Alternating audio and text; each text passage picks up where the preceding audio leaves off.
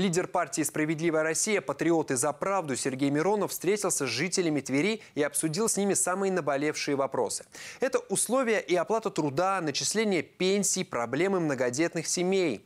У партии есть ряд инициатив, которые смогут улучшить жизнь жителей всех российских регионов. Подробнее об этом диалоге в следующем материале. Больше половины сотрудников Тверской швейной фабрики Всероссийского общества глухих имеют инвалидность. Тем не менее, ограничения по здоровью не мешают им трудиться на производстве, причем десятилетиями. Предприятие выпускает самую разную продукцию – от зимних курток до бронежилетов. Обслуживает госзаказы. Лидер партии «Справедливая Россия» патриоты за правду Сергей Миронов посетил швейную фабрику и пообщался с работниками. В разговоре с ними он отметил важность наличия сурдоперевода, в том числе на телеканалах. Ведь люди, у которых нет слуха, не всегда могут оперативно узнать важные новости. Еще одним важным вопросом стали вопросы пенсий. Справедливо Росы считает, что пенсионный возраст должен быть ниже существующего.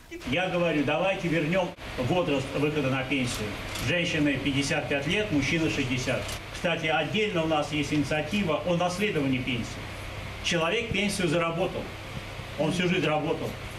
И если вдруг он умер и не получил пенсию, а у него семья осталась, Пускай семья получает. Немаловажная тема, которая интересовала работников предприятия – индексация пенсий работающим пенсионерам, которых немало в коллективе, и зарплаты. Еще одна инициатива фракции – это почасовая оплата труда. Конечно же, труд, особенно квалифицированный, должен достойно оплачиваться. Расценки должны зависеть от условий труда и наличия квалификации. А на встрече с многодетными родителями Сергей Миронов поднял такую тему, как помощь семьям с детьми. Что помощь должна быть не разовой, а постоянной.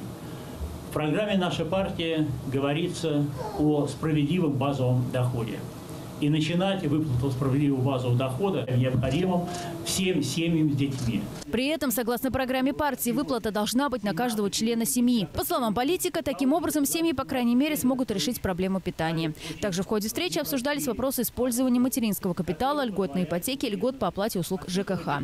Он также поделился планами партии ввести беспроцентные кредиты на жилье для молодых семей. Причем за рождение первого ребенка предлагается списывать 25% кредита, второго – 50%, а за третьего списывать кредит полностью. Все эти важные проблемы политик взял на личный контроль.